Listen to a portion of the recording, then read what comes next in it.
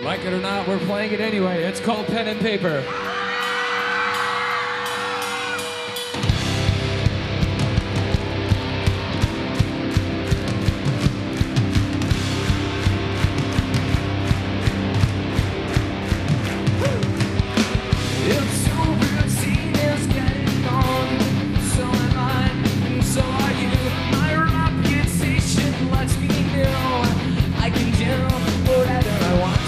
Oh,